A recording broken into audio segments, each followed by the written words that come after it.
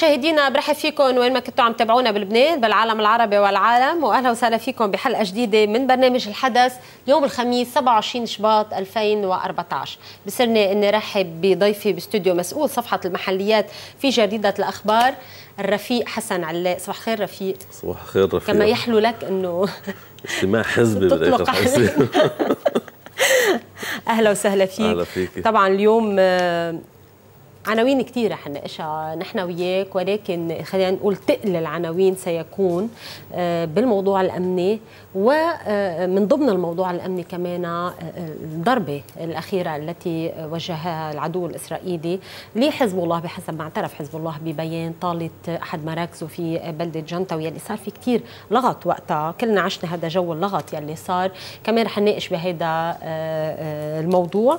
إضافة للموضوع الأمني يلي فيه موضوع الإرهاب الارهابيين موضوع التوقيفات موضوع آه، خلينا نسميها بطولات عم بيسطرها الجيش اللبناني على الأرض. ما بعرف وين كانت غايبة بالأيام السابقة. شو هي الظروف يلي عم تخلي هيدي السبحه تكر؟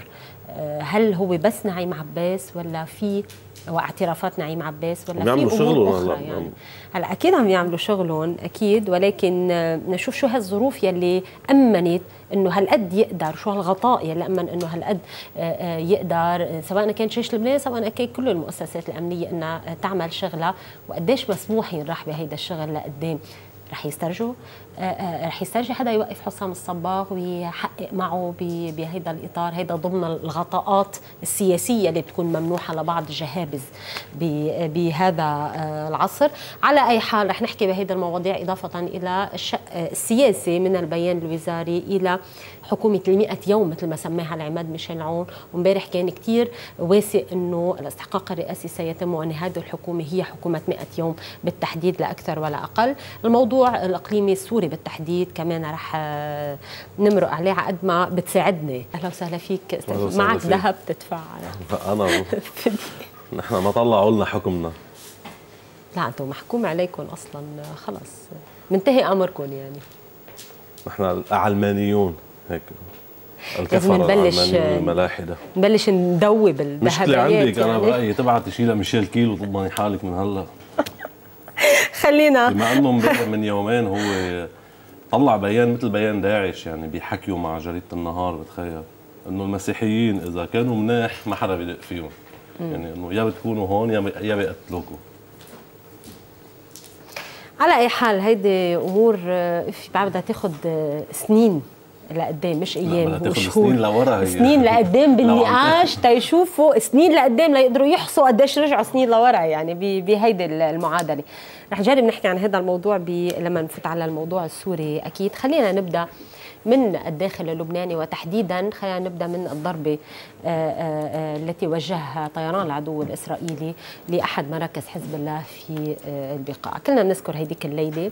بنذكر قديش فتنا ببعضنا وقديش قعدنا على التليفونات وقديش ضربة بالأراضي اللبنانية. لا خارج الأراضي اللبنانية. لا الطيران السوري ضرب. لا الطيران الإسرائيلي ضرب، السؤال البديهي آخر شيء حسم حزب الله هذا الكلام بالبيان يلي طلعه امبارح، سؤال بديهي ليش سمح حزب الله إنه يصير كل هاللغط قبل ما يطلع البيان؟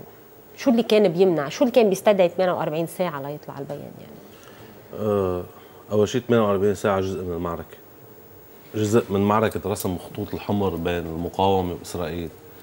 هذا الشيء أه بتعرفوا المقاومة منيح من التسعينات يعني الوضع هلا بيشبه الوضع بسنة 99 وسنه 98 حتى بعد تحرير الجنوب يعني بين التحرير وال 2006 دائما العدو بيحاول آه، يرسم خطوط حمر جديدة بمعركته مع المقاومة يعلي سقفه دائما آه، كان عم يضرب بسوريا والأهداف اللي كان عم يختارها بسوريا لقصفها ولتدميرها هي أهداف مرتبطة بتسليح المقاومة.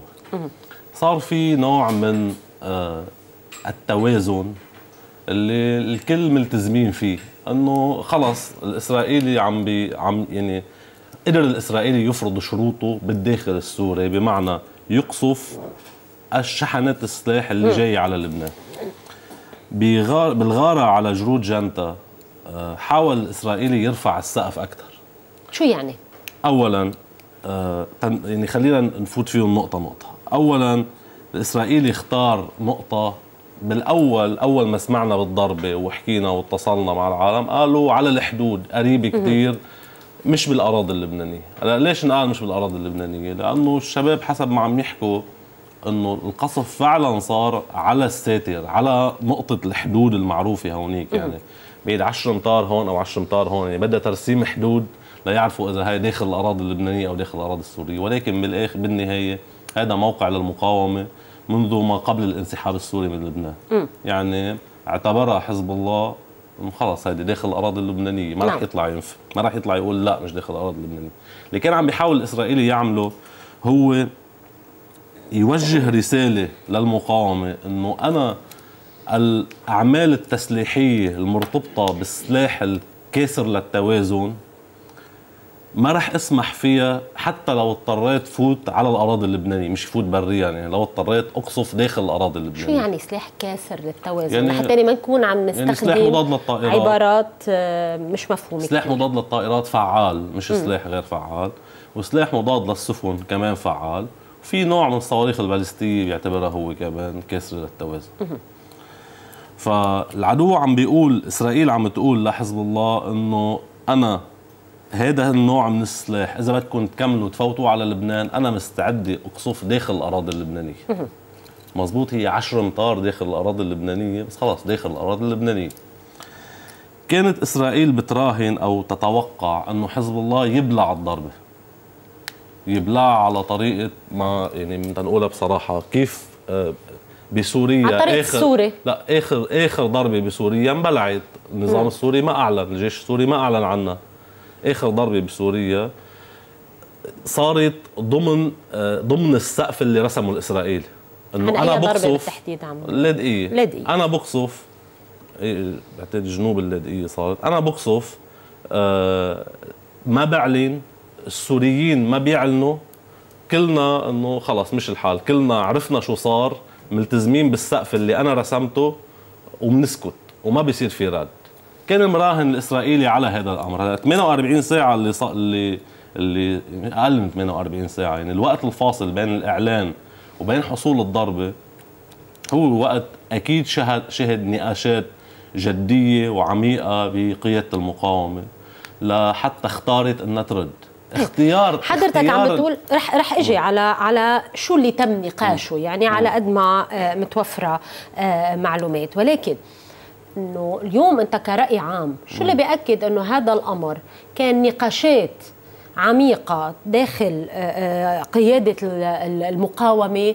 ما مش موضوع تاني مش إنه والله حزب الله لملم اللي بده يلملمه من هيدي الضربة آه، ستر اللي بده يستره يمكن لا سمح الله كان في شهداء لا يقال إنه ما كان في شهداء يعني لملم جراحه وإجا بعدين من بعد ما مثل ما بيقولوا محى كل الأثار اجى آه، أعلن هذا الأمر ليش؟ ليش ليش نقاش مش والله آه، آه، موضوع تاني أثار شو؟ رئيس الجمهورية بعد هلا مش عارف إذا الضربة صارت داخل الأراضي اللبنانية أو داخل الأراضي السورية، المنطقة فوق هي منطقة للمقاومة ما حدا تاني رح يفوت عليها، بده يلملم كرمال مين؟ هيدي أول اللي بدي أرجع لنقطة أنا ست. الإسرائيلي كان عم بيقول إنه أنا هلا بتسكتوا وأنا بسكت وبنخلص هون وبنلتزم بسقف جديد أنا رسمته بخط أحمر جديد أنا رسمته.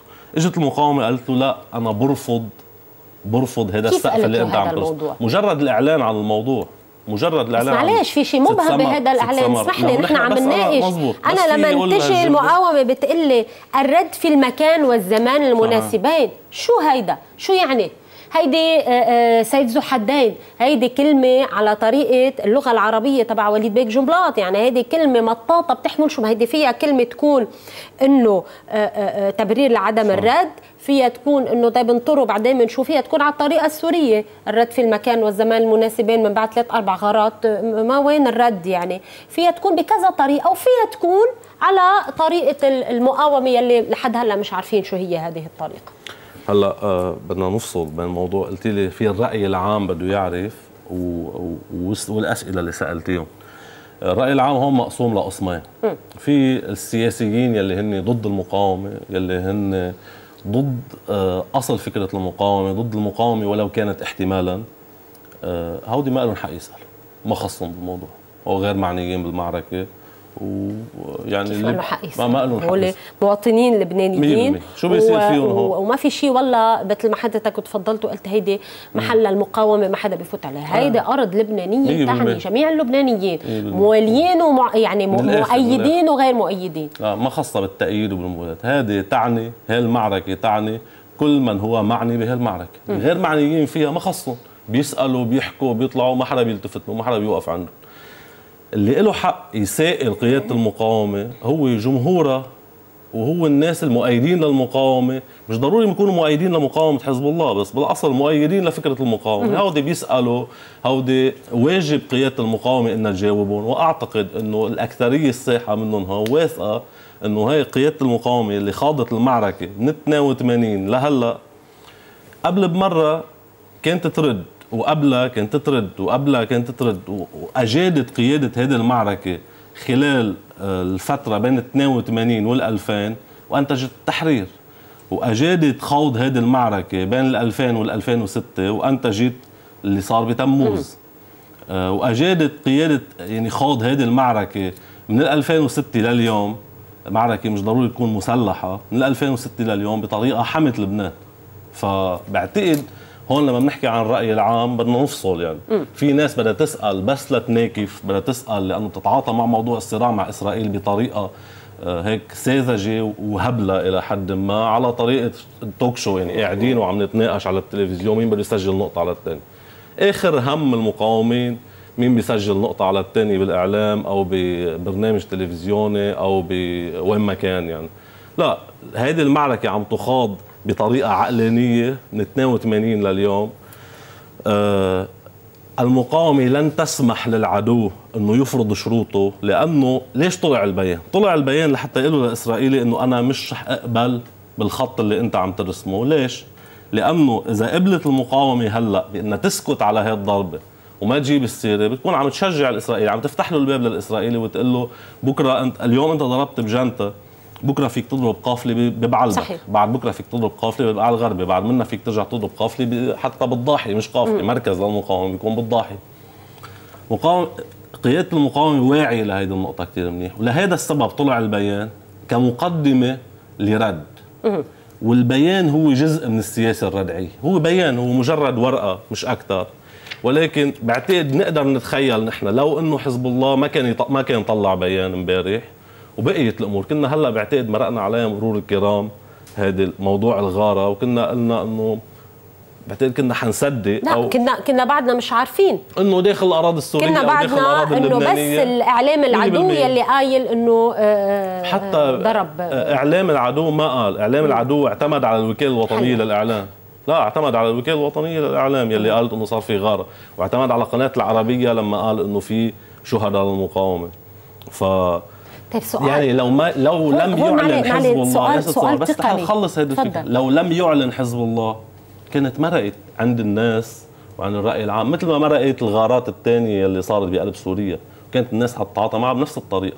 ولكن حزب الله أعطى التزام على يعني وضع نفسه تحت تعهد قدام الناس كلها بشكل علني لأنه بده يرد ولأنه لن يسمح للعدو برسم خط هل حزب الله هو يلي سرب الخبر للوكالة الوطنية للاعلام بليلتها بلحظتها كانت الوكالة الوحيدة اللي عم بتقول غارة إسرائيلية؟ بالوقت اللي حضرتك هلأ عم بتقول هيدي منطقة للمقاومه ما حدا بفول عليها وما حدا بيوصل عليها آه. ولا شيء. من سرب الخبر؟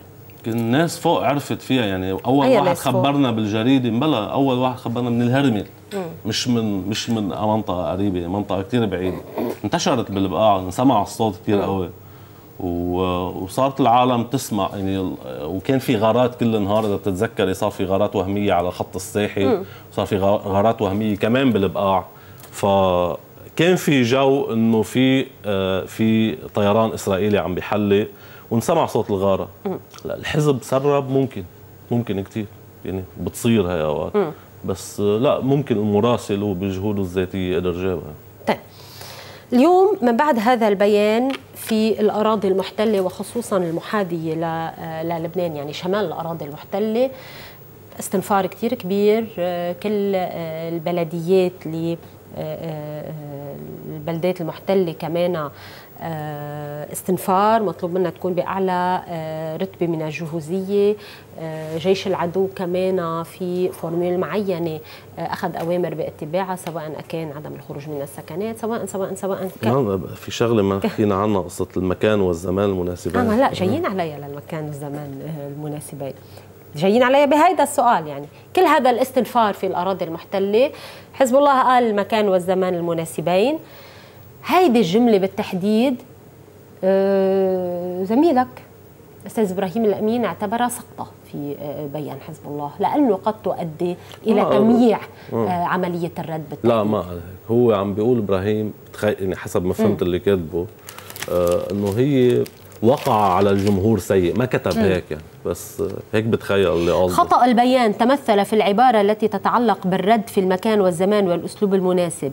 لا يحتاج حزب الله إلى هذه العبارات التي يترجمها المواطن العربي بأنها تبرير لعدم الرد. هذا قلت وقع عند م. وقع عند الجمهور هذه الكلمة سيء. بسبب لأنه سامعينا من السوريين. مش بس من السوريين كنا نستعمل نسمعها وين ما كان يعني من كل الدول العربية. لا بال... خلينا نقول بالأمس القريب يعني. صحيح. هلا أحدث شيء يعني. صحيح. م. كيف سيرد حزب الله؟ شو يعني المكان؟ مثل ما قال آه، المستوطن الإسرائيلي بالمطله إنه ممكن يكون الرد مش على هاي العملية نظريا عم نحكي يعني بين الأرجنتين و... وصاروخ على الجليد. حلو. آه يعني قد يرد يعني قد يرد خارج الحدود لا لا هلا في آه في الإسرائيلية؟ ما يعني بستبعد هذا الأمر. بستبعد جدا. يعني لما بتكون العملية خارج الأراضي اللبنانية بي بيعطي لحاله حزب الله هامش. آه هامش إنه يصير يعني يوسع الملعب يكبر الملعب إلى خارج الأراضي الفلسطينية. لما بيصير ضربة داخل الأراضي اللبنانية هذه معناتها الرد بده يكون طيب هلأ الشكل المناسب داخل الأراضي الشكل المناسب هذا يترك لقياده آه، حزب الله الوقت يلي صار الاستنفار يلي مش ضر ما جايين على الاستنفار آه. آه. الوقت قيادة المقاومة غير معنية بضغوط من نوع إنه بدكم تردوا بكرة أو بعد بكرة عمل المقاوم ليس عملا ثأريا ولا مرة كان بسنة ال 99 وال 98 وبال 97 وبال 96 كان في معارك كثير جولات كثير من المعارك تصير قصف متبادل وخرق لتفاهم نيسان وعملية للمقاومة تقتل الجنود يجوا الإسرائيليين يردوا على مدنيين ومقاومة ترد أو حتى بعد يعني هذه اللعبة كثير انلعبت بعد سنة ال 2000 بالأول سنتين بعد التحرير. آه يعني في جولات كثير خاضتها المقاومة مع العدو من هيدا النوع. ولا مرة كانت المقاومة ثأرية كانت دائما عم تشتغل بعقل بارد ما كان عندها مشكلة إنه أحيانا أحيانا تكون الرد الأخير الرد الأخير للعدو شرط ألا يؤدي ذلك إلى إفساء إنه نفتح له الباب للاسرائيلي ونقول له فوت. يعني ما يكون عدم الرد هو تشجيع له فقيادة المقاومة غير معنية ابدا بإنه بدكم تردوا هلأ أو بكرة أو بعد بكرة. إذا مئة ألف واحد على الفيسبوك أو 20 مذيع أو 300 سياسي بلبنان وبالعالم العربي طلعوا اتهموها بإنه آه إنه ليه ما رديتي وأنتم عم تعملوا مثل غيركم أو انعديتوا نعم. أو ما بعرف شو هذيك تعليقا تحديدا على كلمة الزمان على عبارة الزمان والمكان المناسبين. غير معنية بهذا الموضوع. هن بيحددوا يعني أنا كمواطن لبناني شفت هول الجماعة كيف اشتغلوا من 82 لليوم. كيف ساهموا بتحرير بيروت. كيف ساهموا بتحرير صيدا. كيف بعدين كان لهم النصيب الأكبر من الشغل يلي أدى إلى تحرير الجنوب؟ كيف دافعوا عن ارضي كيف حرروا الاسرى كيف آه آه كيف اشتغلوا بال 2006 كيف قاوموا بال 2006 كيف أذلوا الإسرائيلي بال 2006 هيدي المجموعة من البشر كمواطن لبناني بوثق فيهم. طيب كنا عم نحكي عن الاستنفار بالأراضي بوثق إنه هن بوثق إنه بعتقد الجمهور الأكبر المؤيد للمقاومة الجزء الأكبر من الجمهور المؤيد للمقاومة. يثق بقيادة المقاومة وبيعرف وما عم بيطالبها بتخيل إنه هلأ بدكم تردوا. بالآخر مش أنا بدي حدد يعني ماني خبير عسكري لحدد كيف بدهم يردوا. قول لهم والله بدكم تضربوا هون. مرة بال... في بجولة من جولات الصراع هذه اللي صارت بعد ال 2000 نحن بننساها هلأ. كان الاسرائيلي يطلع يعمل غارات. صار في عملية أسر صار في عملية الأسر الأولى صار في عملية ألحان تننباوم كان يصير في عمليات بمزارع شبعة قيادة المقاومة أحيانا كانت ترد بصاروخ على قاعدة عسكرية ما تعلن هي لا المقاومة تعلن شو استهدف ولا الإسرائيلي يعلن شو استهدف. أحيانا قناص رصاصه قناص كانت تردع الإسرائيلي. عم أقول البيان اللي صدر يعني إذا بنلاحظ الأداء الإسرائيلي بعد الغارة بعد الغارة الإسرائيليين لا فتحوا الملاجئ لا طلبوا من المستوطنين يبتعدوا عن السياج لا طلبوا منهم يحتاطوا. ولا شيء بقيت الحياة طبيعية. صار الأمر بعد البيان صار صحيح. كل هذا الاستغفار لأنه. الإسرائيلي كان متوقع أنه المقاومة تقبل بخط اللي رسمه وما ترد نظرا لانشغالها بالداخل السوري. صحيح. المقاومة معنية اليوم ما هي معنية به بالدرجة الأولى هو أنه ما تعطي للإسرائيل ما تسمح للإسرائيلي يتوهم أنه انشغال حزب الله بالحرب السورية يتيح للعدو شن عدوان ناجح على لبنان. هي معنية ما يحسب غلط بهيدي النقطة تحديدا. هاي أهم نقطة بده يشتغلوا عليها. وما رح يسمحوا للإسرائيلي يتوهم أنه هو بيقدر يشن عدوان على لبنان هلأ. طيب ماذا لو استسهل؟ مثل ما تفضلت وقلت الإسرائيلي. الأمر على الرغم من بيان آه، التحديد. لا ما هو بده يصير في عمل بعد البيان ست طيب ما هي هون الفكرة. أنت عم تقول لي إنه بموضوع الزمان إنه هي الفكرة بضروره تعجيل. عملية الرد. نعم. لأنه في حال إنه بقيت هيك مفتوحة بهيدا الإطار ما الزمن بيسقط التهمة على مر الوقت. اسرائيل بيعرف يعني, العدو. بشوفوا ما رد بيرجع بيعيدها يعني بتقول لك ما بدل ما يكون الرد على مرة واحدة خلي يكون الرد على مرتين. العدو بيعرف إنه آه للأسف يعني الإسرائيليين آه بيعرفوا كثير منيح هيدي المقاومة أكثر بكثير مما بيعرفها شعبها وحتى جزء من جمهورها وجزء والجزء الأكبر من أعدائها خارج إسرائيل، الجزء الأكبر من أعدائها ما بيعرفوا ولا هالمقاومه. الاسرائيلي بيعرف إنه لما حزب الله طلع هذا البيان وقال بدي رد يعني حزب الله جد بيعرف هذا الموضوع. هذا الزلمه المستوطن اللي حكي قال عندما يتحدث نصر الله إيه، بغض النظر عن الشخص لأنه بالعادة بينفذ اللي بيقوله. 100% الاسرائيلي بيحسب هذا البيان أكثر بكثير مما بيحسبوه هون الناس عم بيحرقوا وهن ضد المقاومة وهن كانوا بحرب تموز ضد المقاومة. ما عم بحكي عن الناس اللي بيأيدوا المقاومة عندهم ملاحظات أو حتى خصومة مع حزب الله أو حتى عداء لحزب الله بس هن مع مقاومة إسرائيل ما عم بحكي عن هيدي الفئة من الناس. بحكي عن الناس يلي هن على طريقة بطرس حرب يعني إنه كان بده بال 2006 آه، إسرائيل تفوت تحتل بنت جبال أو آه، ما بعرف مين يعني الناس بي بيسوقوا هلأ للصلم مع إسرائيل وللصلح مع إسرائيل بس بنفس الوقت بدهم يطلعوا يحكوا عن موضوع الغارة طريقة الحرتقه اللبنانية يلي عن جد عن جد اللي بياخذ القرار بالمقاومة مش منتبه لها. مش مش منتبه لها مش شايفها مش قاريهم يعني من الآخر وقت قلت من شوي إنه ما بيحق لهم يحكوا.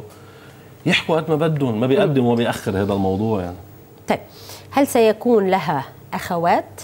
هذه الغارة؟ إذا المقاومة يعني هذا المسار اللي بلش بالبيان بيعني إنه لن يكون لها أخوات.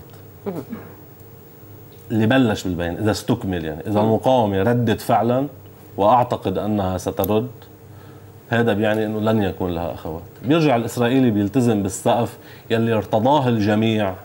حتى آه، السوريين يعني النظام بسوريا المقاومة كل الناس أنه هلأ الأولوية بقلب سوريا بقلب سوريا هي للمعركة الداخلية حتى نكون واقعيين. الجيش السوري ما رح يقدر يخوض هلأ معركة مع إسرائيل بكل بساطة. مشغول من الحسكة.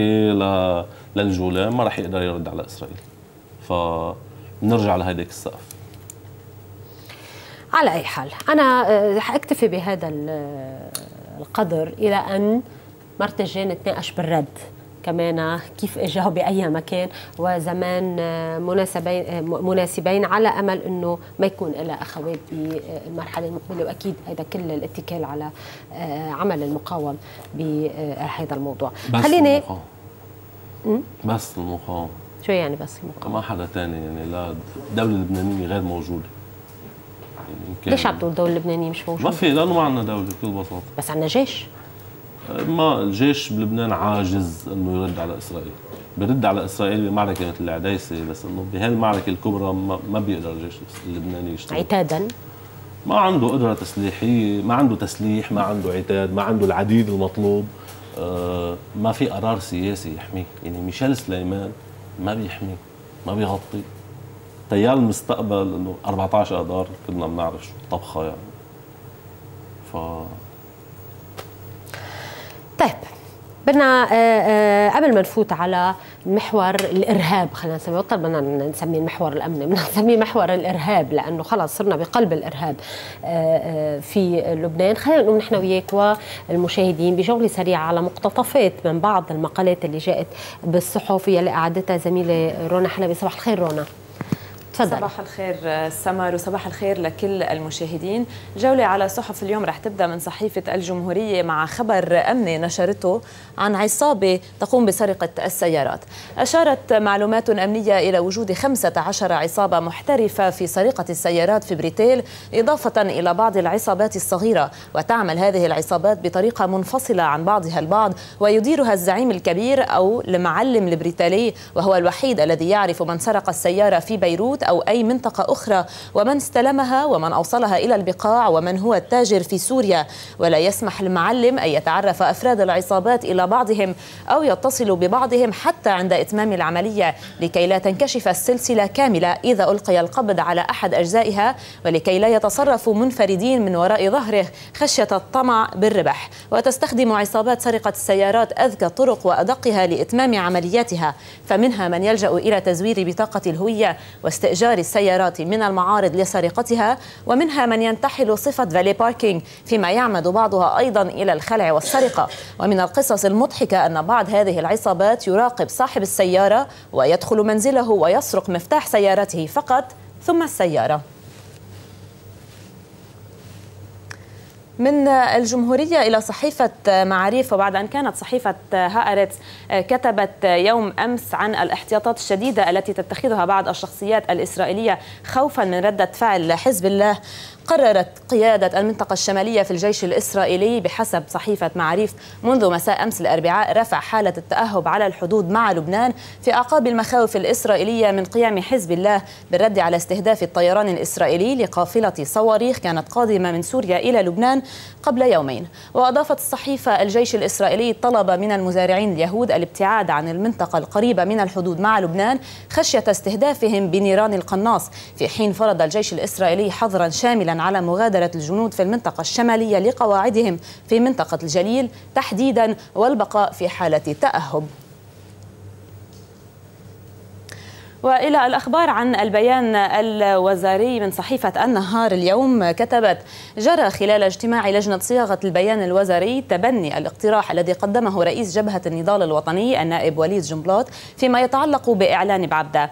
أما الصيغة المرضية التي قال وزير الصحة وائل أبو فعول أنه, أنه تم التوصل إليها فهي بحسب الصحيفة على النحو الآتي اولا ذكر مقررات الحوار عموما ثانيا التزام متابعة هذه المقررات وتنفيذها وثالثا التزام المقررات الصادرة عن مؤتمر الحوار في بعبدة تحديدا. وإلى صحيفة الوطن السورية أكد مصدر دبلوماسي غربي في نيويورك أن المبعوث الخاص الأخضر الإبراهيمي حصل أخيرا على موعد مع الأمين العام للأمم المتحدة بان كيمون وفي مجلس الأمن بعد انتظار استمر لأكثر من عشرة أيام بقي فيه الإبراهيمي مقيما في باريس ينتظر تحديد المواعيد. وأوضح المصدر أن بان سيستقبل الإبراهيمي في السابع من آذار على أن يقدم تقريره إلى مجلس الأمن في الرابع عشر من الشهر ذاته. توقع المصدر أن يتم تحديد الجولة الثالثة من محادثات جنيف بعد العشرين من آذار. من جهة ثانية اعتبرت مصادر متابعة لجنيف أن تأخير موعد الإبراهيمي ومنها تأخير موعد الجولة الثالثة من محادثات جنيف جاء بناء على طلب أمريكي لإعطاء وفد الائتلاف الوطني لقوى الثورة والمعارضة السورية وقتا كافيا لتنظيم صفوفه بعد الخسائر السياسية والإعلامية المتتالية. وبانتظار ما ستقرره الإدارة الأمريكية بخصوص السفير روبرت فورد الذي من المفترض أن يغادر منصبه نهاية الشهر الحالي. وننتقل إلى صحيفة السفير وأيضا في إطار الوضع السوري. هذه الصورة نشرتها اليوم صحيفة السفير مأخوذة في الواحد والثلاثين من كانون الثاني الماضي ووزعتها وكالة الأونروا أمس لمواطنين ينتظرون الحصول على مساعدات غذائية في مخيم اليرموك للاجئين الفلسطينيين قرب دمشق.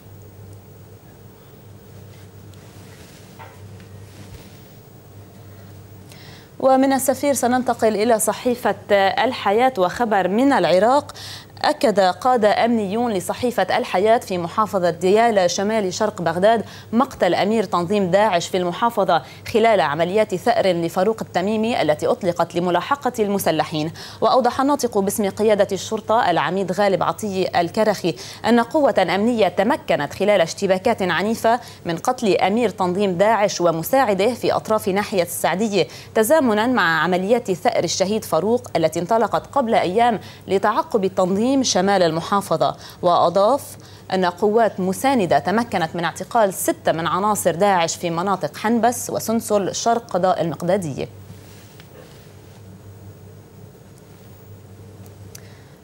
وإلى صحيفة نيويورك تايمز التي كتبت اليوم الرئيس الأمريكي باراك أوباما يعتزم الضغط على رئيس الوزراء الإسرائيلي بنيامين نتنياهو خلال اجتماعهما المحدد الأسبوع المقبل لقبول اتفاق الإطار المفاوضات مع الفلسطينيين الذي وضعه وزير الخ...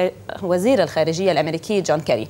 أوباما سيمارس أيضا بحسب الصحيفة ضغطا مماثلا على رئيس السلطة الفلسطينية محمود عباس خلال اجتماعهما المقرر في وقت لاحق من الشهر القادم. وفي السياق ذاته أعربت مصادر سياسية مقربة من نتنياهو لصحيفة نيويورك تايمز عن اعتقادها بأنه سيتحفظ بشكل عام من بعض المضامين الواردة في اتفاقية الإطار الأمريكية الخاصة بالتفاوض مع الفلسطينيين دون الخوض في تفاصيل تحفظاته. كما رجحت المصادر أن تكون معارضة الجهات اليمينية في الحكومة لقرار نتنياهو المرجح باستمرار المفاوضات على أساس وثيقة كري معارضة ضعيفة. وإلى رئيس أمريكي آخر وخبر من صحيفة الشرق الأوسط مع هذه الصورة لجورج بوش الإبن وهو يرسم لوحة. وكتبت الصحيفة اليوم بعد انتهاء ولايتيه الرئاسيتين في 2009 اتجه الرئيس الأمريكي السابق جورج بوش الإبن إلى الفرشاة والألوان ورسم المناظر الطبيعية والحدائق وصور الحيوانات. ويقدم بوش الإبن الذي تحول إلى رسام بعد أن غادر البيت الأبيض أعماله الفنية للمرة الأولى في معرض ينظم في نيسان المقبل تحت عنوان فن القيادة الدبلوماسية الشخصية لرئيس. وسيضم أكثر من 20 لوحة وتحفا وصورا فوتوغرافية وتأملات شخصية. بوش عم يمضي كل لوحاته بالرقم 43 كونه الرئيس الثالث والأربعين للولايات المتحدة الأمريكية. بهذا الخبر رح نوصل لنهاية جولتنا. فاصل قصير وبنرجع لمتابعة برنامج الحدث. رح فيكم من جديد مشاهدينا واتابع الحوار مع ضيفي الاستاذ حسن علي. أهلا وسهلا فيك من جديد أستاذ حسن. شو كان المركز يلي انضرب على الحدود؟ لحتى نحسم هالمحور والنقاش كليا يعني. في معسكر كبير بمنطقة جنتا معروف من من زمان كثير بال 94 بعتقد تعرض لغارة استشهد فيها عدد من المقاومين كانوا عم يتدربوا فوق. معسكر تدريب يعني. إيه. وفي مباني تستخدم لأغراض أخرى. شو لتسليح المقاومة يعني إنه بعيدا مركز حدودي؟ لا مش مركز حدودي. إنه مش معبر يعني إنه بتروحي لا بس إنه مركز يعني. حدودي يعني إذا بعيد 10 أمتار عن هيدا إيه الدنيا سايبة فوق يعني إنه إيه. بكزروا الشباب. لا مش سايبة. الدنيا هونيك مش سايبة ابدا. يعني الحدود الرسمية اجمالا سايبة. منيح هيك. لا ما في دولة. بلبنان ما في دولة. إنه مش إنه سايبة من قبل ما في دولة لحتى تكون موجودة هونيك. لو في دولة ما كان في عندنا مقاومة ست سمر ما كان في حاجة لوجود المقاومة. بس اللي بدي أقوله إنه إنه بالآخر المقاومة عندها شغل تسليحي وكل الوقت بدها تكبر قدراتها وبدها تزيدها وبدها ترفع مستواها. فكثير طبيعي إنه يجي سلاح من سوريا على أنا هلا من كلامك بدي أقول لك إنه بفهم إنه إيه ممكن يكون ممر لسلاح المقاومة آه. من الداخل السوري. صحيح. معبر لسلاح المقاومة من سوريا طيب على لبنان. وكونه وكونه منطقة هالقد قريبة من الحدود وهالقد قريبة من مناطق هلأ الصراع الأساسي في سوريا والمعارك الدائرة في سوريا من يبرود إلى كل منطقة الألمون. ما بيسوى يكون كمان مثلا مركز مدفعية للحزب أو لا. بعيد عن صواريخ أو بعيد عن نسبيا يعني بعيد عن يبرود بعيد عن المنطقة اللي عم بيصير فيها اللي عم يصير فيها معارك. هلا أصلا المعارك ما عم بتكون على يبرود يعني صواريخ إلى ما بعد إيه بس ما عم بي يعني ما عم يضربوا من داخل الأراضي اللبنانية لجوا. منهم يعني هلا طبيعة المعركة بيبرود بمنطقة القلمون مش بيبرود. آه منهم بحاجة ل... لاستخدام هاي المناطق. يعني بس على هل الهامش سقط شهداء بس للحزب في هذه الضربة؟ لا ما رح يخبي الحزب شهدائه يعني هو الشهيد عماد مغنية وأعلن عن استشهاده تاني يوم الصبح يعني استشهد بالليل الصبح وأعلن عن استشهاده. يعني وهو شخصية كان ما في اعتراف رسمي من حزب الله إنه موجود إنه هو جزء من المقاومة. مش إنه جزء إنه هو ناشط حاليا من المقاومة. ف ليش بدهم يخبوا؟ يعني إذا في شهيد بدهم يشيعوه بدهم يعلنوا عنه. مثل ما صار وقت انفجار النبي شيت إذا بتذكري من سنتين و... ويوم صار ينقال إنه هودي استشهدوا بسوريا أو لا. وأعلن عن كان الشهداء مخزن سلاح إيه صح انفجر مخزن سلاح وأعلن يوم عن أسماء الشهداء وتشيعوا وانعمل لهم ذكرى و... وأهلهم معروفين وبيوتهم يعني لا. شهداء للمقاومة لا، لا، في هذه لا. ال- ال- لو في يعني. لو في ليش بدهم يخبوا؟ تمام مش, مش رح يخبوا مش يعني. عم نناقش بعملية التخبئة بس عم تشوف إنه بالمعلومات ما في. لا ما فيها لأنه العربية عرفت هي المنطقة هونيك بدها ساعة ونص ليوصل الواحد. العربية دائما بتعرف مصادر حزب الله إنه هي وعكاظ والوطن طيب السعودي. إيه انه إنه عليه عندهم ما أنت بررت كيف وصل. الخبر للوكالة الوطنية إنه غاره إسرائيلية مش إيه مش غاره سوريه عدد إنه الشهداء بتقدر العربية تعرف إذا في مثل ما قلت كان في شهود عيان في عالم في أهالي المنطقة. سمعوا سمعوا. الصوت بس قصدي ما عرفوا شو اللي انضرب ما عرفوا شو اللي انقصف ما عرفوا في ضحايا ولا ما في ضحايا؟ الا العربية دغري عرفت الإرهاب في الداخل آه، اللبناني. مسلسل طويل عريض عم تكونوا أنتم بصحيفة الأخبار من الأوائل يلي عم بيكشفوا هذه آه، ما بعرف مين عم يعطيكم هالمحاضر كلها سريه العمل هو ذاته المحضر هو ذاته المحضر اللي نشر عنا نشر عندكم. بس صارت نحن ما بعرف ليه عنا بين أكثر من عندكم انه تلفزيون ليه قولك؟ أه بعتقد حسيته إنه مشغول عندكم بسرعة كان إنه ما لحق رامز يشتغل وياخذ وقته فيه يعني إنه وصلكم. إذا وصلكم بالوقت اللي وصلنا فأكيد ما لحق يشتغل يعني كان بده شوية وقت أكثر ليلحق إيه يشتغل أنتم كان معكم كل الليل تشتغلوا إيه. عليه أكثر بهذا الإطار على كل حال. البرنسيب آه، آه، المبدأ واحد هلا بما انك عم تستفزني بهذا الموضوع حطينا الخبر قبلكم كسبق صحفي. مش الحال؟ اعترف لنا فيها. ما مش فايتين بتنافس معكم. لا ما فينا ما نكون. بتن... ما فينا ما نكون بتنافس. هي المشكلة على التنافس الشريف يعني. السبق الصحفي. نرجع نفتح هيدي نفس. الموضوع. اي طبعا قهرتني قهرتك قهر- جداً. قهرتني إنه يطلع يعلن اسم شهيد. مش عندكم عندكم وعند غيركم وعنا أوقات بنغلط يطلع اسم يعلن اسم شهيد قبل ما يعرفوا أهله. قهرتني إنه في نقاش جدي بالجريدة وبكل وسائل الاعلام لازم يصير إنه صورة أشلاء بشر ما لازم نحط كثير بسيطة. حيصير عندنا انفجارات كثير وصار عندنا انفجارات كثير إن شاء الله ما يصير ولا انفجار. بس إنه في قواعد بسيطة أنا بايدك بهيدا. الموضوع. أنا بأيدك بهيدا الموضوع بس هيدا واقع الحال وهيدا في شيء. اسمه نقل مباشر على الأرض. صح. ما فيك تلحق تخبي كل شيء. علما هي- إنه نحن معلش بدك تسمح لي أحكي عن حالنا نحن. كنا مهينيين أكثر من غيرنا بالأجزاء اللي قدرنا نعمل لها موزاييك ونخبيها. قدرنا خبيناها. غيرنا طلع فيها بلا تخباية يعني. بس مشكلتكم أنتم أنت بالذات ما بتشوف إلا نحن. ما بعرف ليه. بتغار. بتغار. شو بدي أعمل لك؟ يلا ماشي الحال. خلينا نروح من ما نضيع بوصلة النقاش. خلينا نروح إلى آه، آه، الموضوع الإرهاب بالتحديد. من وقت اللي انكمش نعيم عباس يلي يعتبر من أحد الرؤوس آه، وبلشت حجار الد- ال- ال- الدومينو تكر وهذه السبحة تكر ويعمل سلسلة الاعترافات. وخلينا كمان نعترف بأنه الجيش عم بيقوم بعمل جبار على الأرض وعم يدفع ثمنه. دفع ثمنه بالهرمل. صحيح. بعد رح يدفع ثمنه الله لا يقدر إنه هذا واقع الحال يعني. في في اثمان بدها تندفع مقابل كل آه، هذه الأمور اللي عم بتصير. ولكن وين صارت هذه السبحه؟ كمان نعيد الحكي يلي عم ينكتب كل يوم بالجرايد وين صارت هذه السبحه؟ في محلات عم يقال إنه في أسماء عم تنظلم. في محلات عم يقال إنه آه، في آه، كرمال هيك في معايير مهنية لازم نلتزم فيها نحن قبلكم.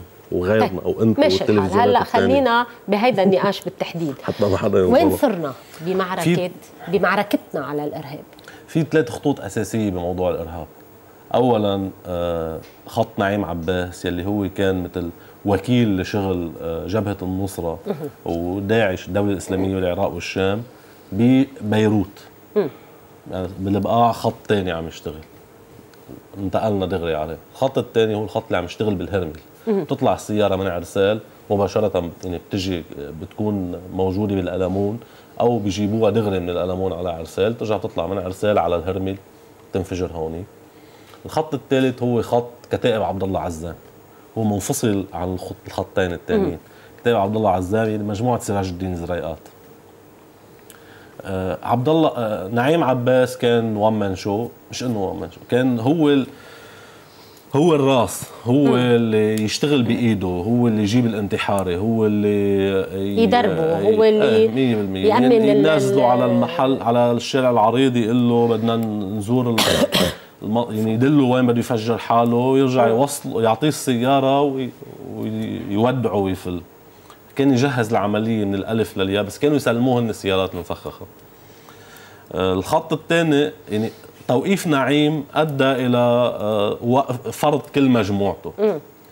آه الخط الثاني اللي هو خط سراج الدين زريقات هذا الجيش قبل ما انقل على الخط الثاني وسراج نعم. الدين زريقات كان يسلموه السيارات نعم. المفخخه نعم. طيب إذا عم نقول إنه السيارات اللي عم تنفجر من الهرمل هي اللي عم بتفوت عن طريق آه عرسال. السيارات اللي عم توصل على بيروت. كمان. نفس الشيء. طبعا. بس خط ثاني بالشغل. مم. يعني مش نفس تاني. المجموعة. مم. يعني كان عمر الأطرش مثلا حسب اعترافاته. آه، يجيب له سيارة لنعيم عباس يسلموا إياها على جامع خاشقجي مثلا. م. آه، مش هو ذاته عمر اللي بيبعث السيارة على على الهرمل م. حدا ثاني يعني طيب أصلا سراج الدين زريقات سراج الدين زريقات هلأ تم توقيف مجموعة اللي توقفوا بطريق جديده من 10 أيام تقريبا. آه هيدي المجموعة بتساهم بشل حركتهم جزئيا لأنه أثبتت أثبت تفجير السفارة هذه المستشارية الثقافية الإيرانية إنه آه إنه قادرين يشتغلوا بدون وجود آه هذا الشخص اللي توقف أبو علفة والمجموعة الثانية ومجموعة الشباب اللي معه. لأنه لأنه هن كانوا شغلهم لوجستي أكثر من تنفيذ هن كانوا يراقبوا هن راحوا راقبوا المستشارية وراقبوا تلفزيون المنار اللي على الأذاعة مش اللي عبير حسن. هن مش اللي كانوا يبعثوا الانتحاري يروح يفجر حاله. فبعد في حلقة ثانية هون مفقودة. الحلقة الثالثه بعرسال ما بدها جهد كثير هون الجيش عم بيقوم بجهد جبار. إيه نعم عناصر الجيش عم يعملوا جهد جبار. وكل يوم عم بيعرضوا حالهم وفدوا الهرمي من ما يعني يعني في استشاريين كانوا على حاجز الهرمي لعناصر الجيش. صحيح. انقذوا الهرمي من مجزرة كبيرة ومن يعني بيخجل الواحد وهو عم يحكي عنهم قدام اللي قدموه. بس آه، في شغل آخر لازم تقوم فيه الأجهزة الأمنية مجتمعة بقرار سياسي. وهون رئيس الجمهورية الأجهزة الأمنية مجتمعة. مجتمعة. طبعا. في قدرة على هذا الإجماع. في قدرة على هذا ما ما ما يعني مش شايفين إنه في شايفين أجهزة أمنية لحد هلا متناحرة. ما عم ينسقوا مع بعضهم. عم يشتغلوا شغل هواة بعدهم بهذا المجال. آه، في معلومات بيعرفوها أجهزة أمنية من الوسائل الإعلام من الصحف من التلفزيونات. يعني بدل ما يكون الملخص واصل من جهاز أمني لجهاز أمني ثاني بيجي بيقراه بالجريدة أو بيشوفه على التلفزيون. آه شو سبب هذا الشيء؟ سبب هذا الشيء؟ ما في مرجعية سياسية. مين مسؤول عن عدم تكامل العمل وتقاطعه بين الأجهزة الأمنية؟ بكل العالم حتى بالدول اللي فيها أجهزة محترفة جدا يعني مثل باسرائيل مثلا. في تنافس دايم بين هلا التنافس شيء وعدم التكامل والتعاون والتنسيق شيء ثاني صحيح وبصير عدم تنسيق. بس بالآخر بإسرائيل إذا الشباك آه وقف واحد بتهم بتجارة المخدرات. بخبر الموساد مثلا. ومش الموساد إنه وطلع هذا الزلمة له بيقدر يعرف معلومات عن مخزن صواريخ لحزب الله بيروح بيخب الشباك بيعطيها للاستخبارات العسكرية ما بيخبيها. عندنا هون لا بده يكمل الموضوع للآخر إلا إذا كان بيمس بالجهاز الامني الثاني يعني فرع المعلومات ما بيبلغ الجيش إلا إذا كان بيمس بالجيش. والجيش ما ما بيبلغ فرع المعلومات أوقات ما بيبلغهم بالمرة إلا إذا بيمس فيهم. فما في تنسيق ما في قرار سياسي بالتنسيق. أصلا نرجع لنفس الفكرة. مين بياخذوا هالقرار؟ السياسي انه في شخص اسمه ميشيل سليمان هو رئيس الجمهورية مفترض يجيبهم يجمعهم مش مثل الاجتماع الفولكلوري اللي صار. طيب بس اليوم عندنا مشكلة. معلي بدنا نحكيها مثل ما هي. عندنا مشكلة اليوم إنه كل جهاز أمني محسوب على جهة. طبعا. اليوم مثلا فرع المعلومات محسوب على 14 اذار وعلى تيار المستقبل صح. بالتحديد. آه. اليوم عندنا مع إنه أنا ضد هذا الموضوع كاملة يعني جملة وتفصيلا لأنه مخابرات الجيش هي تنتمي لها المؤسسة العسكرية اللي هي على مستوى الجيش كل ما فينا ما فينا نقول إنه الجيش تابع لجهة. في جهة موتورة بالبلد هي بتعادل الجيش. أكيد أكيد بس ما هو من كثر ما بتنوتر هيدي الجهة وبتعرب الجيش عم عم بتصير عند الرأي العام في هيدا هيدا الفكرة في هيدا الانقسام اليوم. طيب هيدا عدا عن الجهات الأخرى. فهون في شغل عم بيصير جبار على الأرض عناصر عسكر. على المستوى القرار لا بعد في شغل كثير لازم يصير. لازم الدولة لازم بكل بساطة هيك رئيس الجمهورية ورئيس الحكومة والله الأمور سهلة ما بدها كثير يعني. والوزراء المعنيين وزير الداخلية وزير الدفاع ووزير العدل بما إنه معني كثير بالأمن كمان. ف في خطوط في خطوط عم تشتغل على تدمير هذا البلد. هذه الخطوط ممكن إقفالها بكل سهولة ممكن تجفيفها. آه، طريق عرسال اللبوة منا صعبة. مجموعة أبو طاقيه الموجودة بعرسال يلي مسؤولة عن سفك دم الناس ببيروت. وبالهرميل معروفة بالأسماء. طبعا معروف مش معروفين بالأسماء معروفين هلأ وين موجودين هلأ هلأ وين موجودين. طيب شو يعني الاجهزه الامنيه معروفين وين موجودين هلأ. حسن. مش وهودي الناس ليه ما عم هلأ هلأ ست سمر هاي المجموعة محتلة عرسال. هلأ رئيس بلدية عرسال كل ما واحد حكى كلمة بيطلع بده يرد بده يزايد عليهم هلأ لأنه هن عم يتهموه إنه عميل للمخابرات. هن هول المجموعة عم يتهموه عميل للمخابرات. ووصل له تحذيرات من الأجهزة الأمنية إنه انتبه منه. يعني ما عم نحكي عن عرسال بس بالنهاية. 100% بالنهاية يعني نوصل على بريتال يمكن لأنه يعني. عرسال في عندك عرسال في بريتال لا بريتال ما عم يطلع منها سيارة مفخخه بريتال عم يطلع منها فيها عم يطلع منها سيارة لا تتفخخ. 100% إنه ما هي ذاتها هي ذاتها في في طرابلس كمان هلا جايين على على هيدي النقطة بالتحديد. ما عم نخصص عرسال بالموضوع يعني. بس اللي عم اقوله إنه هي اللي بدي اقوله عن عرسال هاي المجموعة محتلة عرسال حاليا. عرسال خارج الدولة اللبنانية. هذه خارج سلطة الدولة. هي عرسال.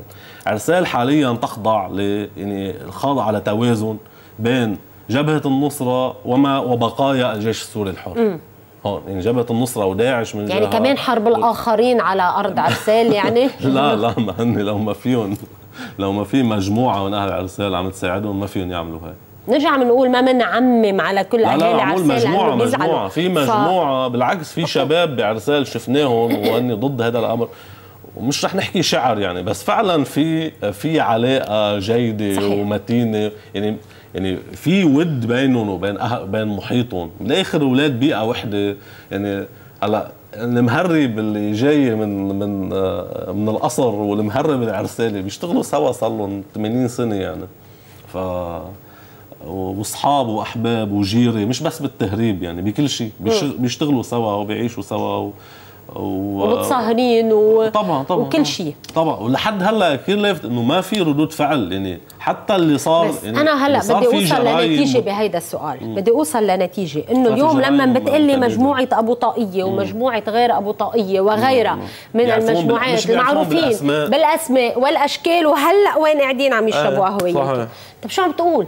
شو عم جاي تقول للناس؟ عمول الدولة مستقيلة يا ست سمر، ما الدولة مستقيلة من حل أزمة الكهرباء بلبنان قبل ما يجي جبران باسيل ويعمل خطة ولحد وقبلهم عمل خطط يعني بس قصدي إنه حتى نطلع عم نحكي بس ما هيدا ما بيسوى يعني هيدا ما فينا نشبهه لموضوع الكهرباء والمي وغيره عم أقول أنا عم نحكي بالموضوع الأمني. أبسط من هاي. أه بعدك عم تقولي لي تحت الهواء كم عنصر عندكم بسكنتا كم عنصر قوى أمن؟ الدولة مستقيلة ما الدولة بالليل من على جديدة على اللي بهمه يطلع يسرق يعني. هلا انت فيك عانينا كثير منها هيدي القصة وما في ما في عسكر يغطي. طبعا. فالدولة مستقيلة من كل الدولة الوحيدة بالعالم نحن يلي ما فيها موازنة صار لها سبع سنين. ما في موازنة ما في غيرنا. رقم قياسي عم نسجله كل يوم عم نتأخر عم عم نرفع الرقم القياسي. ما حدا رح يسبقنا عليه. ما حدا حتى الدول المصنفة فاشله عندها موازنة. دولة مستقيلة من كل واجباتها فطبيعي تستقيل من الواجب الأمني. بالتحديد الدولة مستقيلة من كل واجباتها. نعم. الجيش مفوض. هلا بتقول لي غطاء سياسي مفوض. وغير غطاء سياسي. الشعب مفوض الجيش. م. ليش ما تتاخذ هذه الخطوة ويبطل الجيش يتمرد؟ منيح هيك؟ يتمرد الجيش يبطل ينطر الغطاء الغطاء السياسي ويعمل يلي بيلاقيه مناسب هو على الأرض. ليش ما بتتخذ هذه المبادرة؟ سمر في شيء نحن آه عم بحلم يمكن بس لا مش عم تحلم في شيء بننساه آه كثير كثير شاطرين 14 اذار بالإعلام. نرجع بنقولها دائما هذا هن طرف كثير قوي. نحن بننسى اللي صار بآخر 2011 بعرسال لما طلع الجيش بده يوقف حمزة الأرقوس. في قرار سعودي نفذوا تيار المستقبل ساهم في شخصيات أمنية. ساهموا في 14 آذار كلهم. عن علم أو عن غير علم. بإخراج عرسال إخراج الدولة اللبنانية من عرسال بلش هذا الشيء من 2011 راح الجيش اللبناني أول مرة بده يوقف حمزة الأرقوز. تم السطو على دورية مخابرات الجيش واخذوا لهم سياراتهم وسلاحهم واعتقلوهم يوما قالوا وقتها انه من حزب الله مش من الجيش. ما هن كل مرة بيقولوا من حزب الله. ثاني مرة آه طلع الجيش اللبناني بده يوقف خالد الحميدي خالد الحميدي اللي عم نكتشف يوم بعد يوم قديش دوره كان مهم يعني. ف هذا لا يبرر أكيد إنه ينقتل يعني بس أكيد اللي طلعوا بدهم يوقفوه ما كان نيتهم يقتلوه. بس آه يوم طريقة شغل 14 أذار وتغطيتهم لمجموعة خالد الحميد وتغطيتهم لقتل عناصر الجيش بجرد عرسال بطريقة مباشرة أو غير مباشرة. بده يحط حواجز قدام الجيش. بالآخر آه إنه آه، جان قهوجي منه سوبرمان. يعني. عنده حساباته عنده حساباته اللي لها علاقة بالمؤسسة اللي لها علاقة بعلاقاته اللي لها علاقة بالوضع بلبنان اللي لها علاقة بالحساسيات اللبنانية السياسية والطائفية والمذهبية. بده يشوفها هي كلها. هلا مش اخذ قرار يعمل انقلاب طالما انه مش اخذ قرار يعمل انقلاب بده ي... بده ياخذ هيدي الأمور بعين الاعتبار. صار مطلوب انقلاب برأيك؟ انه ما ما حدا رح يعمل انقلاب. خلينا نكمل ب هذا الخط الأول الخط البياني لا لا وصلنا ما فتنا الأمور ببعضها يعني. لا لا رجعنا نحن عم نحكي هلا عن موضوع السيارات كنت عم أقول لك إنه آه، كنا عم نحكي عن مجموعة سراج الدين زريقات وإنه هل نفس السيارات أيضا تدخل من هذه المناطق من فوق قبل ما نروح على صحيح. على الديباج الثاني طيب كنا عم نحكي اليوم كمان عن آه، بريتيل بالتحديد يلي هي عم بتكون آه خلينا نقول آه وقت اللي حكي وزير الداخلية عن بريتيل طلعوا بيان أهل بريتيل بس مش باسم البلدية وقالوا له فيه تعال وقف المطلوبين. كمان معيب على الدولة إنه بعد في واحد. هلا هلا ما عم بيطلعوا سيارات بطلوا عم يبعثوا سيارات على سوريا هلا حاليا. وقفوا من كذا أسبوع. لأنه شافوهم عم يرجعوا لعندهم. 100% وقفوا حرامية السيارات وقفوا يبعثوا سيارات على جوا على أو الأساسي فيهم وقف يبعث سيارات لجوا. من هو الأساسي؟ معروف اسمها ما ب... ميم طا مثل ما قلنا أو طائيه هن ميم حا وميم طا ف وقف عم يبعث سيارات. بس كمان عيب على الدولة مش عيب يعني ما, ما في اشياء خلص بطل واحد يعرف يقولها إلا بشتيمة فأحسن ما يقولها. إنه يستحوا يعني إنه في تاجر سيارات مسروقة يطلعوا يجيبوه. يعني هالقد صعبة القصص. ما قدروا بالاول بالسابق 50 50 هلأ لما كانوا بدهم ما مش منطق إنه طيب. يا ست سمر إذا أنا بموقع المسؤولية إذا هو بموقع المسؤولية ما حنقول موقع المسؤولية. بده ياخذ قرار يزعل الناس. ما في في الصبح يقرر يعمل تسوية مع حزب الله مع تيار المستقبل مع النظام السوري مع الأمريكان ومع السعودية بنفس الوقت ويجي يقول أنا ما عم يطلع معي شغل. بدك تزعل العالم منك. ما عم بحكي عن شخص عم بحكي عن الكل. وزير الداخلية معني بهذا الحكي. قائد الجيش معني بهذا الحكي.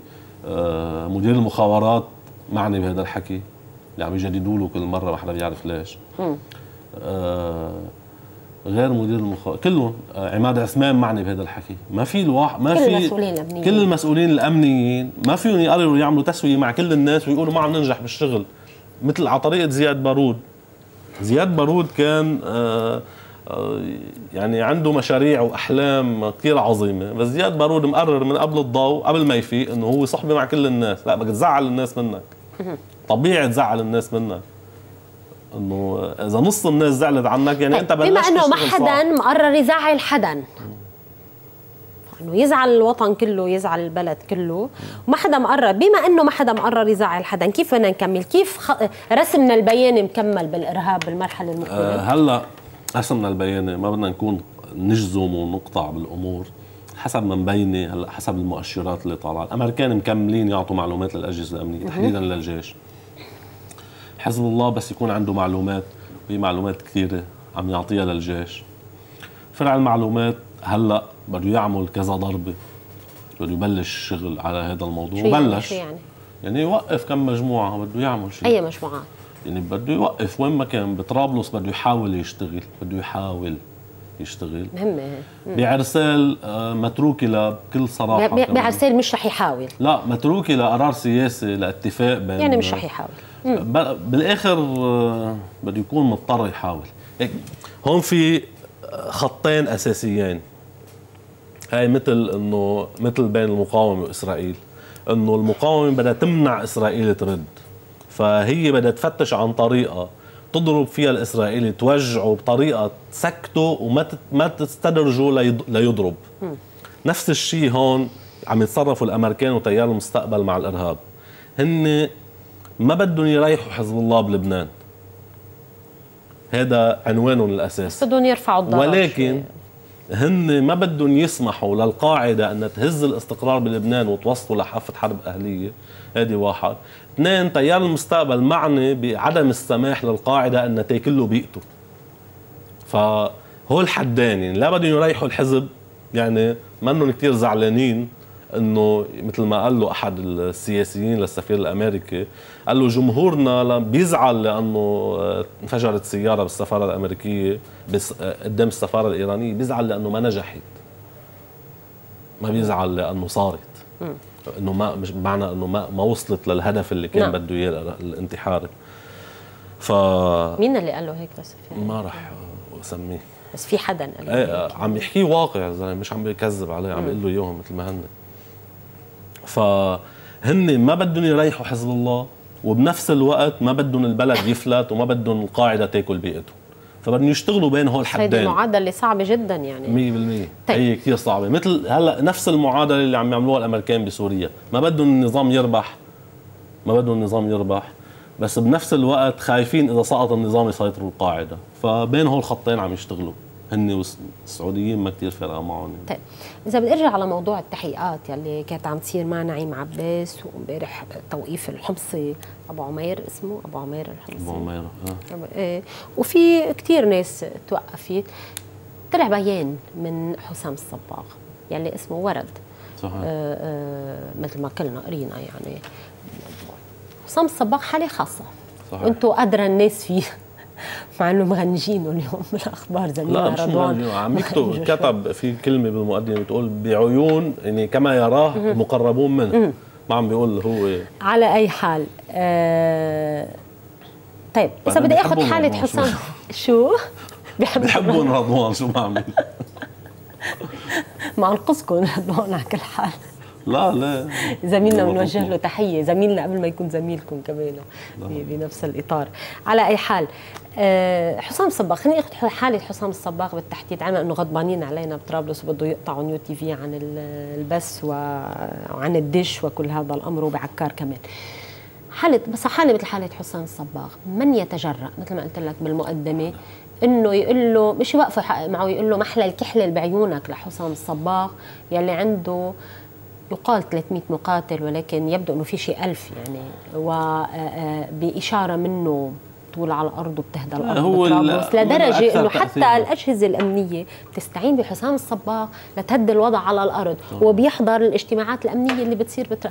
مين بيتجرأ يقرب على حسام الصباغ؟ هلا ما حدا آه، هو بيعرف إنه هو بيقول وكثير سلفيين ريت مثل بطل الك- تدرس في لي ج- كلماتك في شوي. احكي لي عندك، في جملة. كاتبها رضوان إنه هن بيعرفوا السلفيين وبيستعملوا دائما تعبير إنه يسمنون للذبح يتم تسمينهم للذبح. آه للأسف حدا مثل حسام الصباغ. هلأ الدولة اللبنانيه علما إنه حريص إنه ما يعلق مع الدولة. إيه صحيح. طبعاً. دايماً. طبعا. آه الدولة اللبنانية بت- بتترك هذه الحالة تكبر تكبر تكبر. بالآخر بيصير في تسوية سياسية. على طريقة أحمد الاسير يعني؟ مش بس أحمد الاسير لا على طريق كل ما عن كل ما عاناه السلفيون والإسلاميون في لبنان من سنة ال 2000 لليوم حتى من قبل سنة ال 2000 دائما بيتكبروا بيتكبروا و, و وبيو يعني بيتم أكلهم كوجبة كبيرة وجبة دسمه بيكونوا أحيانا مثل اللي صار بنهر البارد صار تجمعوا من يعني كل طب هي هيدي سياسة سليمة عمليا يعني؟ إنه لبنان ننطر ليصير مثل ما صار بعبرة أو ليصير مثل ما صار بنهر البيت؟ لا مش سليمة. وليش عم تعتمد مش, مش سليمة؟ إيه؟ ليش, ليش عم تعتمد؟ لأنه مفروضة يعني؟ لا مش لأنه مفروضة لأنه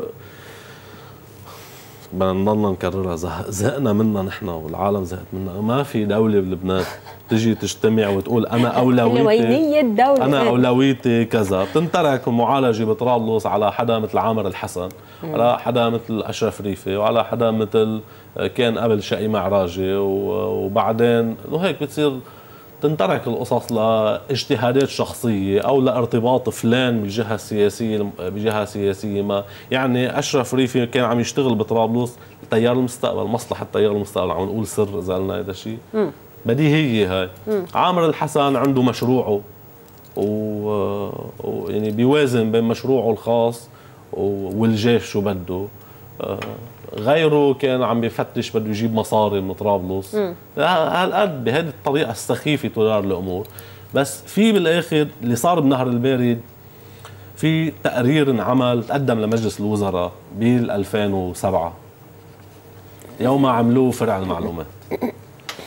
ختموا له هذا التقرير بيقولوا فيه إنه هو مجموعة نهر البارد كل العالم كانت مستفيدة من إنه تجمعوا هونيك وانقتلوا نفس الشيء اللي عم بيصير بسوريا هلأ. نفس الشيء عم بيصير بطرابلس في جهة بطرابلس عم تتكبر عم تتضخم.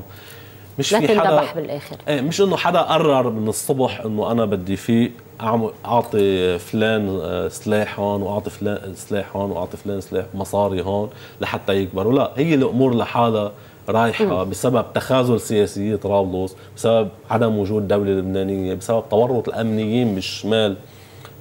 مع الجهات السياسية ومع المسلحين وبيخافوا منهم وبيستعملون وبيبتزون كل هيدي عوامل مع ظروف اجتماعية وطائفية ومذهبية واحتئان وسوريا وسلاح المقاومة وغيره.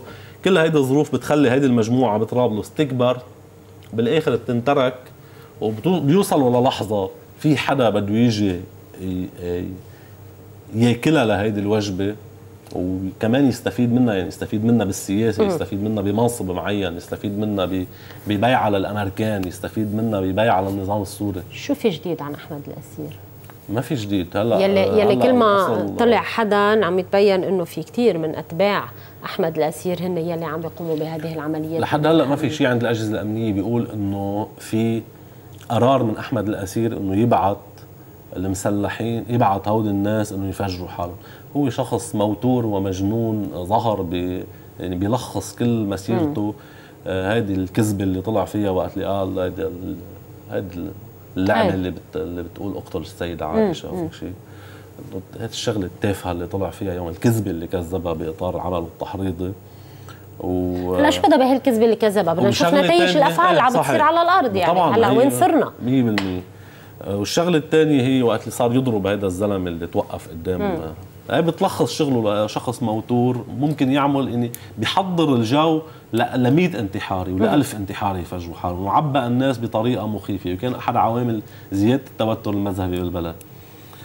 مش ضروري يكون أحمد الأسير قايل ل ل حدا من من أتباعه إنه روح فجر حالك. بس هو حضره نفسيا لحتى يجي سراج الدين زريقات يستغله. يستغله ويجنده ليروح يفجر حاله. هو عمل له يعني عمر له البيت لسراج الدين زريقات هلا سراج الدين زريقات عم يفتحوا للبيت بس. عطاه المفتاح كمان. بس وين أحمد لاسي لحد هلا كمان ما في شيء يثبت إنه فعلا هذا اللي انحكى عنه إنه هو عم يشتغل مع جبهة النصرة وإنه امروه على لبنان. ما بعرف ما في شيء عند الأجهزة الأمنية وحتى عند ما في شيء بيأكد وفي شيء بيكذب الموضوع يعني أو بينفي إيه بس لحد هلا ما في شيء بيأكد يعني بدها بين والقصة بعد ما توفرت. خلينا نتوقف مع بريك إعلاني قصير نعود بعد ونتابع هذا الحوار.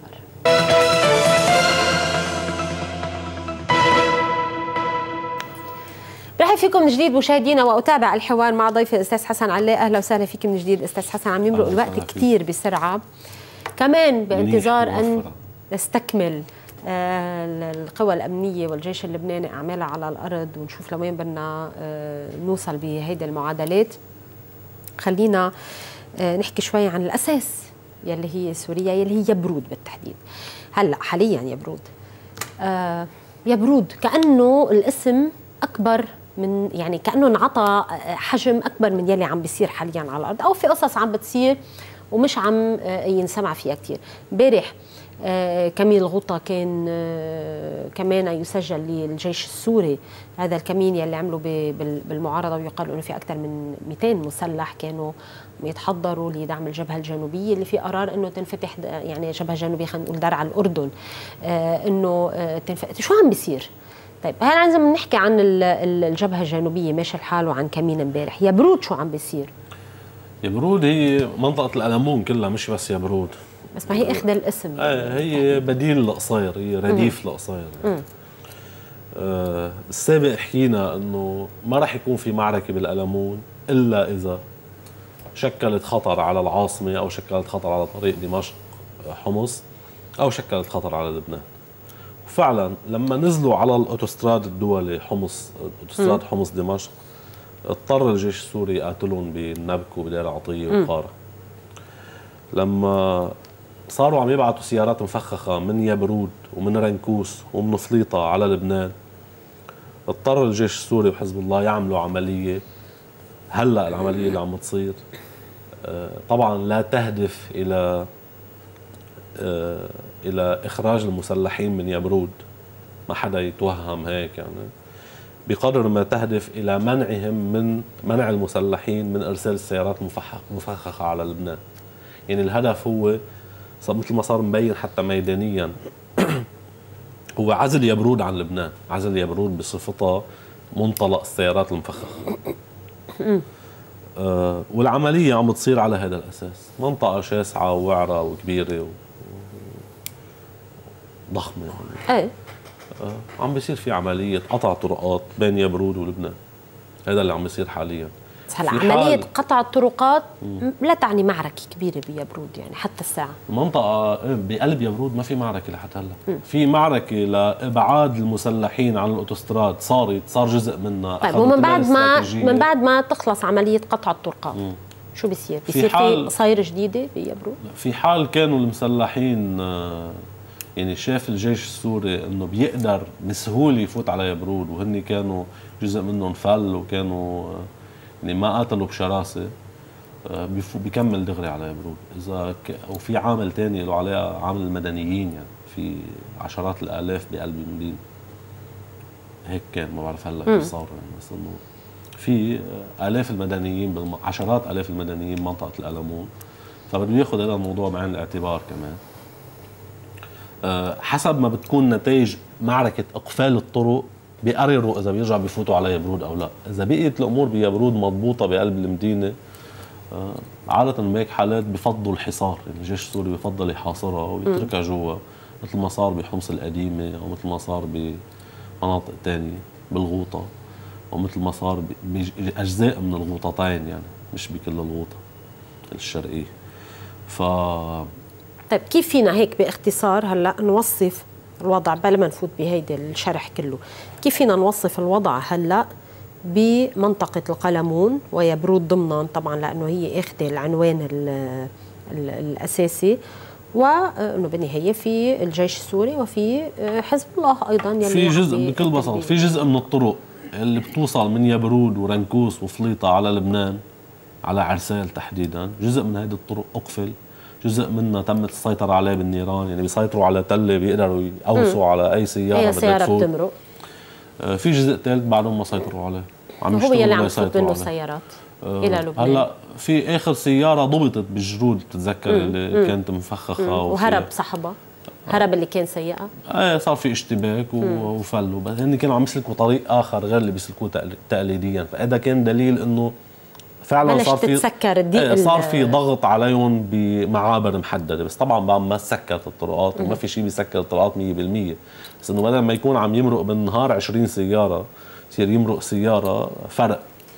المهم إنه في جزء من الطرق تسكرت في جزء بعده عم ينشغل عليها لتتسكر هذه خلاصة الموضوع.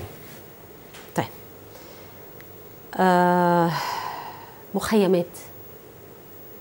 المخيمات الفلسطينية بلبنان.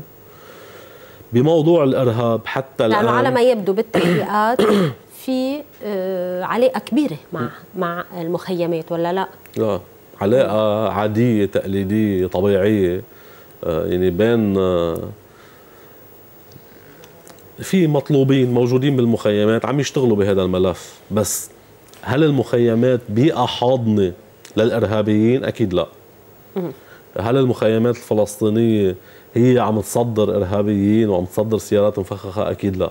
بس في أسماء في مجموعات صحيح. موجودة بهذه المخيمات. صح في مجموعات موجودة بهذه المخيمات مثل المجموعات الموجودة بطرابلس الموجوده بعرسال موجودة ما في سيارات عم تتسلم بالمخيمات ومحيط المخيمات لحد هلا لا. إنه محيط المخيمات شو بدنا نقول؟ منطقة صبرا يعني شو خص ما خص ما يعني ما بتنحط تحت عنوان مخيمات.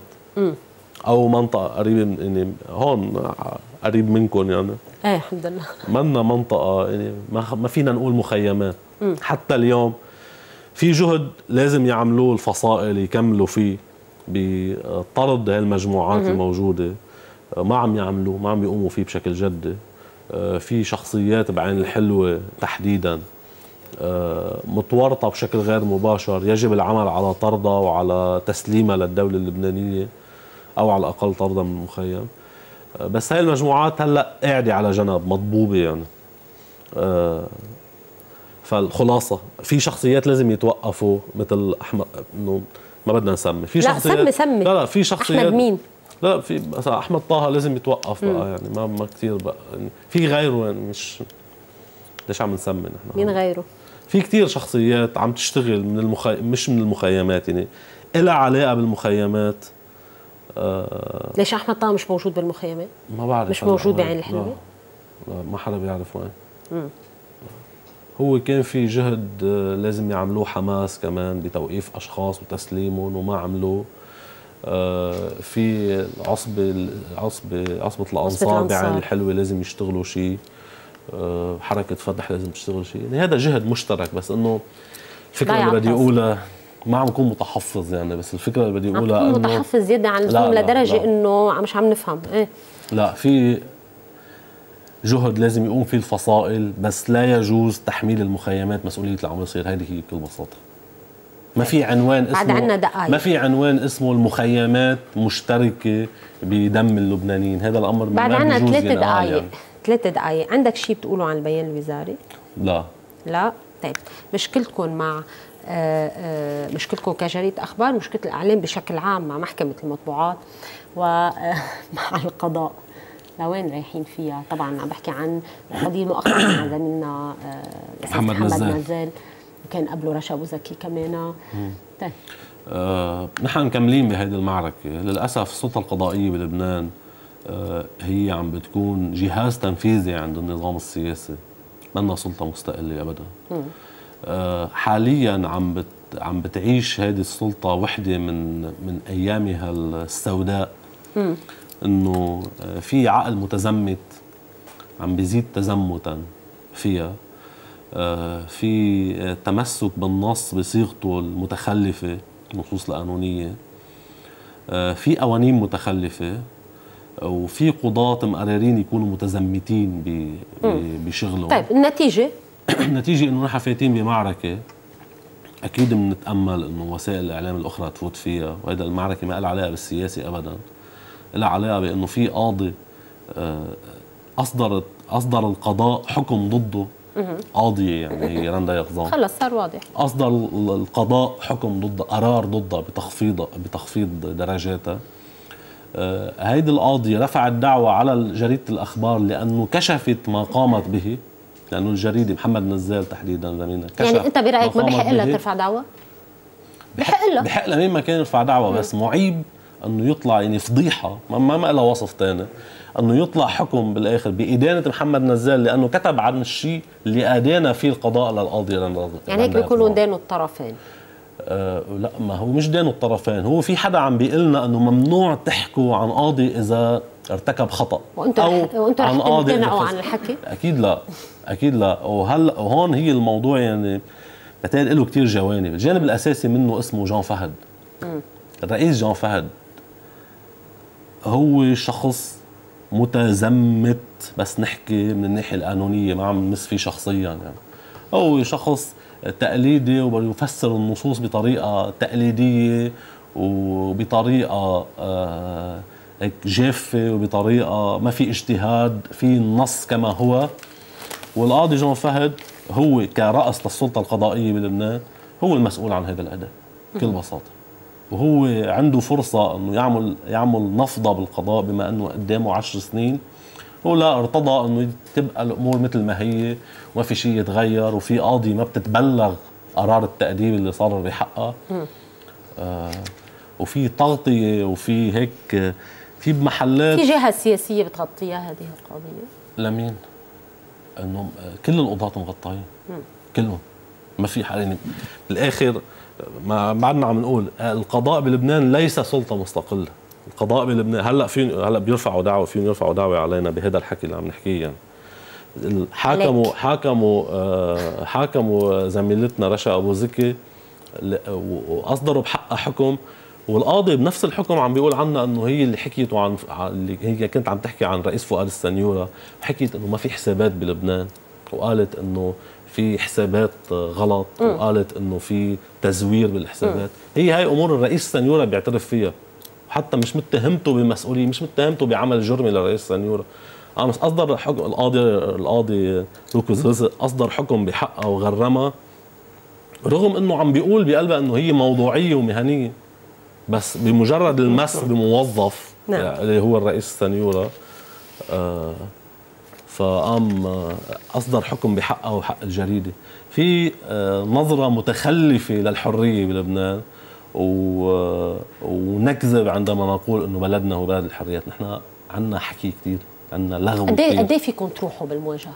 انه مكملين هلا بد... هلا أول شيء ما بقى نحضر نحن قدام قدام القاضي روكو زرزق بمحكمه المطبوعات ابدا. شو ما كانت طيب الدعوة؟ بس إنه يمكن توصل الأمور إلى إقفال الجريده إذا حطوكم براسهم ما هيك؟ ولا لا؟ مين بده ما بعرف. إنه إيه خير. إن شاء الله. أكتفي مش أكتفي أكتفي مجبورة يعني مجبر اخاك لأنه انتهى الوقت. كان في كثير أمور نحكيها. نحن ما ما حكينا بالسياسة ابدا آه، آه، معك. مسؤول صفحات المحليات في جريدة الأخبار حسن علي أنا بشكر آه، حضورك معنا رفيق اليوم وعينك بكير ومقصص شعرك وماشي حالك على بكرة الصبح. فشكرا لمشاركتنا بهالحلقة. مشاهدينا الشكر الكبير لكم ولمتابعتكم وإلى اللقاء.